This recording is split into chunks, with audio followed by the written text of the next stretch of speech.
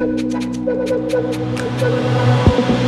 whole lot different by the end of the month. You've got Volkan Oezdemir and Anthony Lionheart Smith. That's a main event October 27th.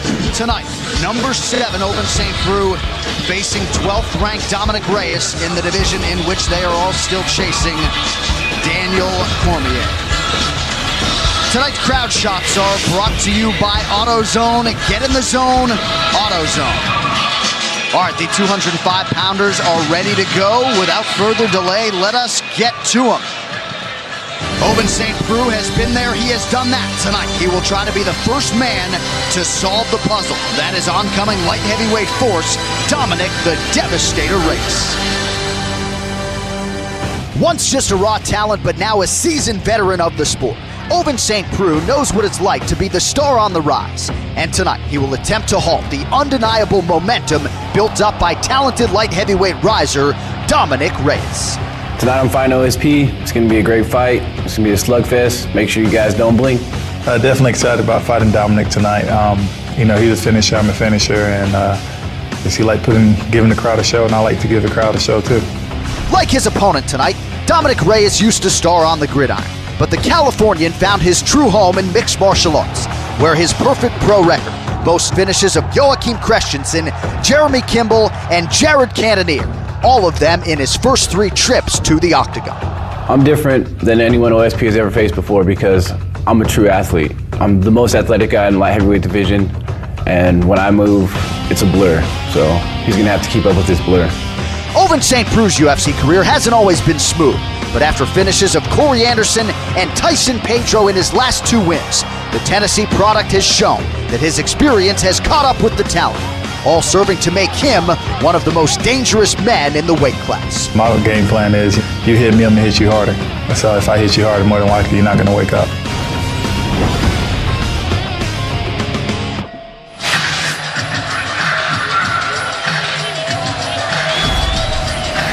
3 0 to begin his UFC run. Here is Dominick Reyes, 28 years old.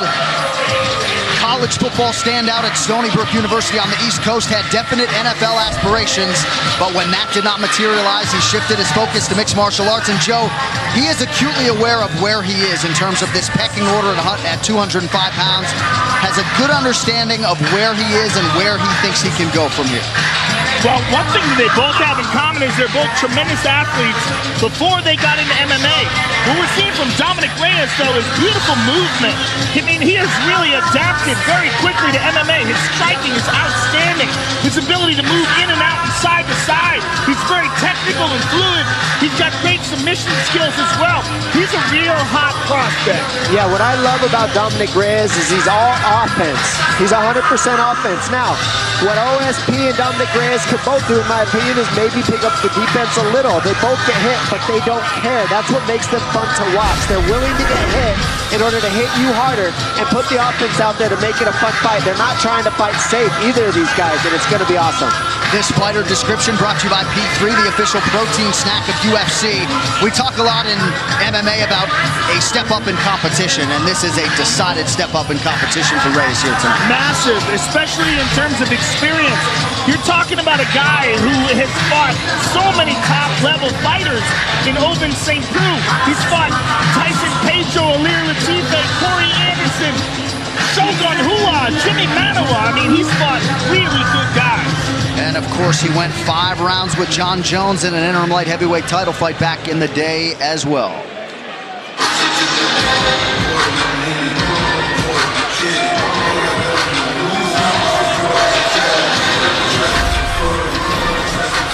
Well, since Ovince St. Preux Dom made his UFC debut in 2013, no light heavyweight has won more UFC fights than Vince. 11 UFC wins, and he comes in with a lot of momentum here tonight, trying to make it five wins in his last six. Yeah, he says that he's a better, he's better at adapting to styles than Dominick Reyes, and he says that this is my 19th fight in the UFC. I started out this thing. I knock people out. I know where I'm at. I know I belong here. Reyes is still trying to figure that out. Says, I believe I have the advantage on the ground. And you know what? I, I, we don't know yet. We haven't seen Dominick Reyes even be forced to grapple yet. So can OSP create those type of exchanges? And if he does, how can he do against Dominick Reyes? Because we've seen him submit various people with various different submissions. Well, Dominick has that one victory over Jeremy Kimball in the UFC with a rear naked choke, but you're right. He prefers to strike. And in terms of experience, there's no competition. As you said, Jon Jones, he went five rounds with Jon Jones, OSP did. He, he fought Glover Teixeira. I mean, again, fought Shogun Rua. He's fought a lot of really high-level guys. And we just saw Derrick Lewis rally through adversity. That has been a staple of the UFC run of Ovince St. Preux. He has produced wins when he was really up against it during those fights. He has fought with injuries and somehow persevered. His nine UFC finishes, tied with Chuck Liddell and one Jon Jones for tops all time in this 205-pound division. This is a guy who is all across the light heavyweight record books and still believes at 35 years old that his best days could be ahead of him. Tricky got to prepare for the king of the Von Flue choke. This is a fighter that brings a whole lot to the table. Yeah, and as he said, the thing that these two men both have in common is, with, is that they were both substantial athletes before they ever got involved in MMA. Tale the tape is brought to you by Modelo Especial, brewed with a fighting spirit since 1925. St. Preux, 35 years old. Dominick Reyes with a wisdom that belies his years. He is 28.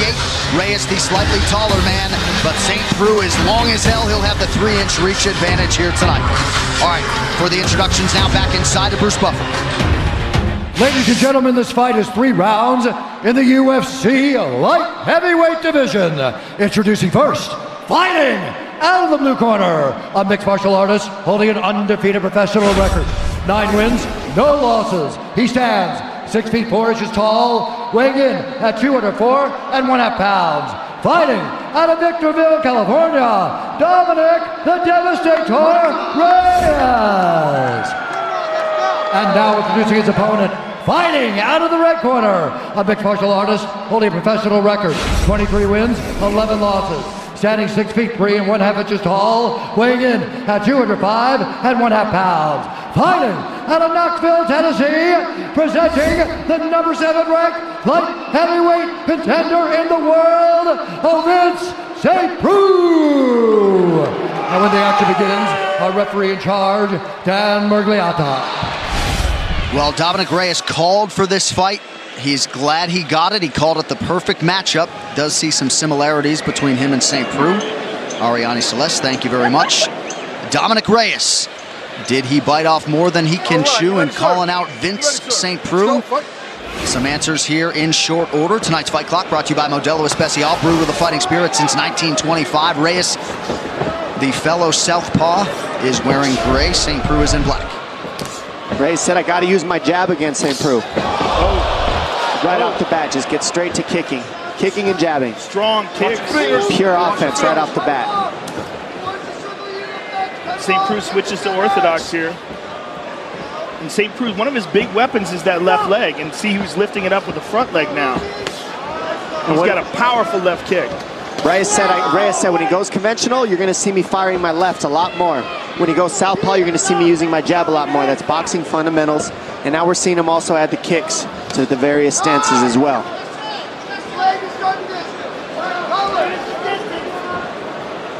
Reyes did take second at the 2015 IBJJF Worlds as a blue belt, but really acknowledged that he doesn't have the combat experience of his light heavyweight contemporaries.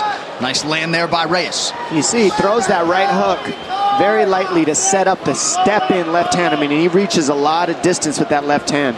St. Preux just getting out of the way.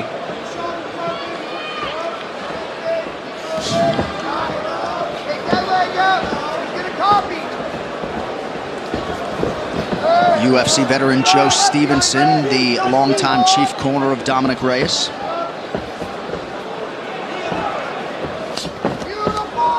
Nice slip by St. Preux. He said most of this camp was rooted in shoring up his defense. Ovince looking for the takedown. Interesting.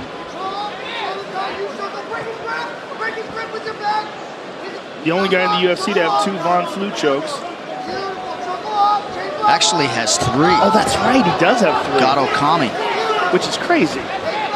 Oh, it's got to be. Even we got to change Flue the name. or something. He's Yeah. got one. Yeah. The fact that we're seeing, the fact that we're seeing OSP try these shots tells me that he's not very comfortable on his feet right now, and it's interesting because he, you don't see him just try outright double legs ever.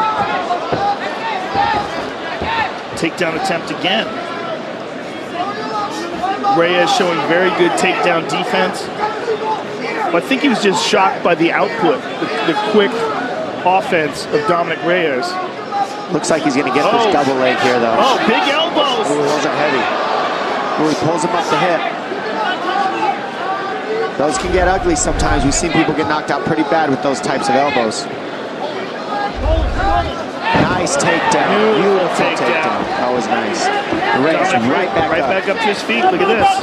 The athleticism that he's showing is And high that's, level. that's exactly what he's talked about, making these strikes count.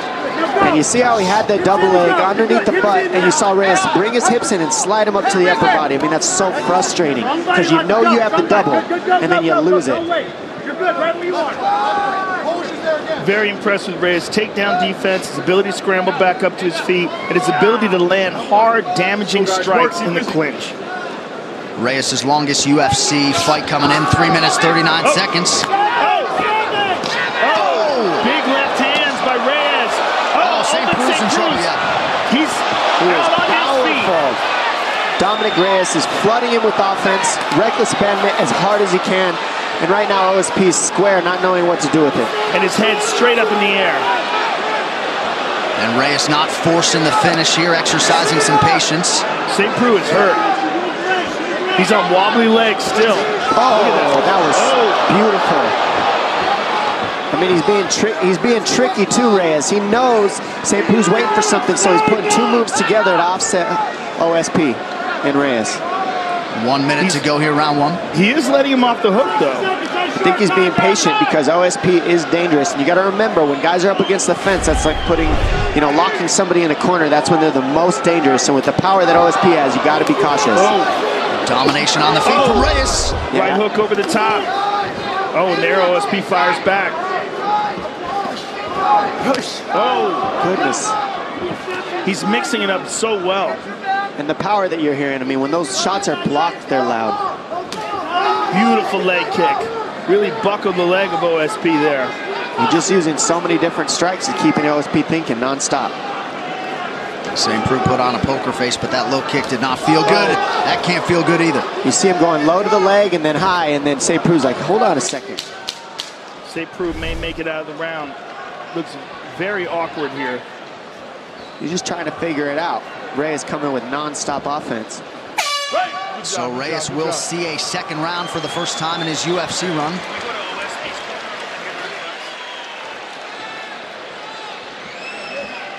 Let's listen into Eric Turner if we could.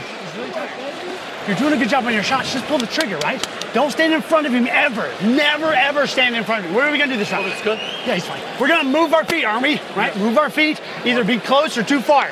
But none of that in the range, right? Right now we're saying right in his range. If we're gonna stand there, pop, pop, pop, pop, pop. You understand? What are we gonna do this round, okay? Yeah, yeah, yeah. You're good from the over under. Attack them. Yeah. Put yourself in a position. Your shots. Dominick Reyes putting on a show. Let's look at these big elbows from the clinch. Hard elbows. Travis Browne style. And look at this left hand over the top. Boom, right hand behind it. Just pure domination by Dominick Reyes. Caught him with the end of the toes with that.